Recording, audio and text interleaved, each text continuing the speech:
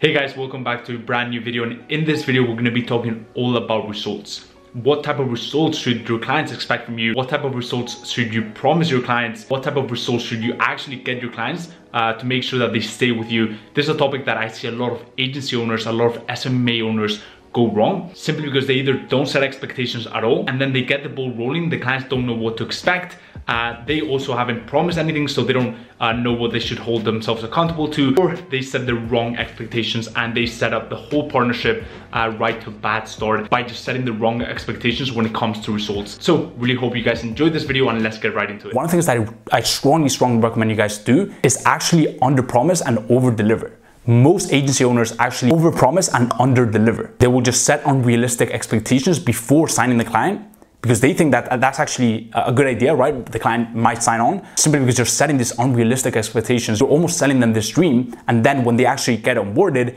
and you start producing results, obviously those results were unrealistic and you can't get them those results right? And so what i strongly recommend you guys do is start under promising and actually over delivering. Stop telling clients that you're going to make them 4x 6x or 10x uh, return investment in the first month even if that's what they want to hear. What i can tell you guys is i had a tendency to do that when i started my agency journey. I would almost promise them the world but what i what i found is number one they actually love the transparency and honesty. When you tell them, hey, you know, most agency owners will actually promise you uh, that they can do 2x, 4x, 6x return. What I can actually tell you from our years of experience in this field, just working with a plethora of ambitious clients in this exact niche, is that that is completely unrealistic. The path to profitability that we kind of see is month one, we get this, month two, we get this, month three, we get this, and um, you just make it very realistic. You're not selling them this dream, and they actually appreciate that so, so much. Like I can't begin to tell you guys how that has changed my, my close rate so much because at the end of the day, transparency and honesty wins. I, I don't want to, because a lot of people will like try to sell you smoke, right? And, and yeah, yeah. Very unrealistic. like, we've been I'm telling you, yeah, yeah, I'm telling you right now is like with investment, hmm.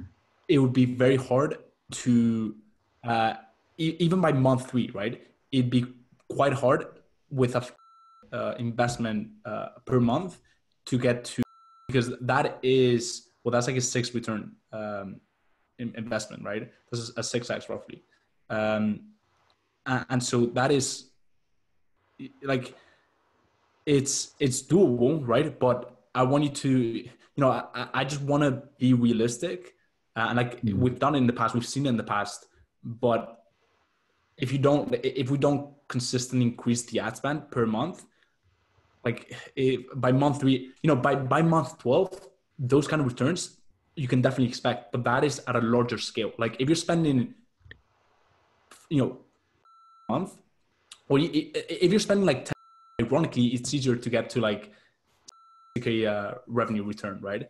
Uh, because it's just the algorithm is much much better optimized.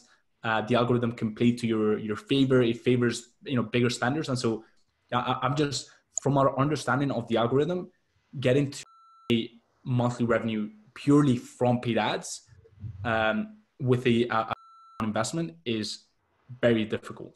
Can it be done if we, you know, if we have like a very strong, you know, and solid backend of emails um, and all that infrastructure?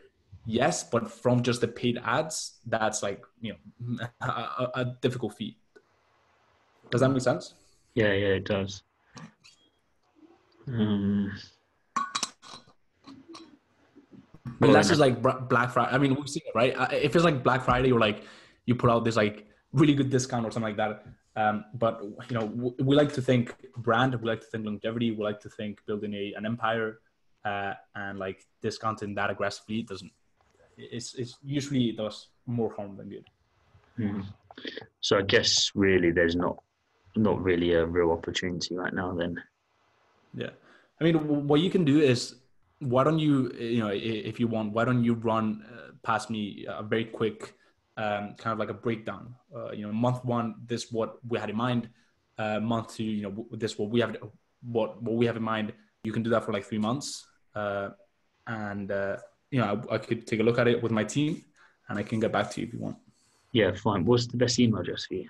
So that's the, that's the, the first reason why it's incredibly powerful. And the second reason has to do with the fact that, quite simply, when you don't overpromise and when they don't go into the partnership just you know, being sold this dream and expecting, just expecting the world, and you actually tell them what they can expect and you actually get them better results, they're obviously going to be just delighted with you. When you promise them the world and then you under deliver, that is gonna piss them off. That is gonna make people angry, right? But when you give them realistic expectations and you just have a killer team that can provide an incredible result and you actually get them better results and you over deliver, that is the formula for very happy clients. Now, so just to wrap up the video, I want to cover one of the things I said in that cut, in that uh, previous cut, and that was under promise and over deliver. And uh, I just don't want you guys to misunderstand this section. Look, I'm not saying sell yourself short. I'm not saying undercut your, uh, you know, delivery. I'm not saying, you know, undercut what you can do for them. I'm not saying you shouldn't tell them that you can get them uh, a 2x return on investment. If your track record indicates that you can get them a 2x return on investment and that you've done in the past uh, in your niche and that that is a typical result that you can get them because you just have you know an incredible team uh, you have the experience uh, to get them that, that type of result uh, and you can definitely and, and, feel very confident that you can get them that result. I'm not saying you should cut yourself short. Uh, I'm just saying that be realistic, right? Don't don't tend to overpromise. Don't tend to uh, make unrealistic expectations because unfortunately that is where most people go. They tend to go to the unrealistic. They tend to sell the dream, and then that comes back to to bite them in the ass, right? What you want to make sure is that you're setting realistic expectations uh, so that your client knows what they can expect, and oftentimes will be pleasantly surprised by you getting better results than you actually you know even promise, right? Um, that is what I, what I want you guys to take away from this video because what I can tell you is overpromising is one of the worst things that you that you can do as an agency owner. It will lead to really unhappy clients and also it will make you very unhappy yourself. So that is the final thing that i wanted to cover. Just to recap if you have a track record that indicates you can get them a 2x return investment because you know you're just miles ahead of your competition even 4x return investment whatever it is don't undersell yourself just make sure that you're being realistic. Just make sure that you don't sell them the dream. Just make sure that you don't sell them smoke. So yeah, guys, hope you enjoyed that video. If you did, drop a like. It really helps a lot with the algorithm uh, and I would really appreciate it. Also, leave down below any questions, any comments you may have on the video and I'll be checking those out. Lastly, guys, if you want to check out more SMMA related content and you really want to make sure that you're consuming very valuable information that can help you start and scale your agency, really sign and keep more clients, go ahead and check out my free Facebook group community, the Client Closers. The link is in the bio. Uh, honestly, it's an incredible community full of like-minded people trying to scale their agency and level up in life. If you want to check it out and join, go ahead and check out the link in the bio.